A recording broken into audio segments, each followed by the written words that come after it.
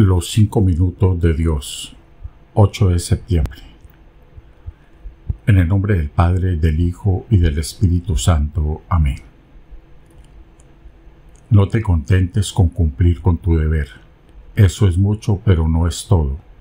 Y tú no debes quedar satisfecho sino con el todo. Cumple tus deberes hasta en los más mínimos detalles. Al fin y al cabo la perfección suele radicar en los detalles.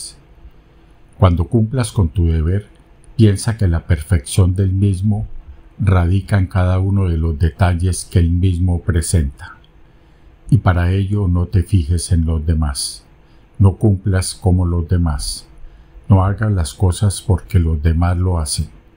Cada uno tiene su propia personalidad, su propia conciencia, su propia responsabilidad.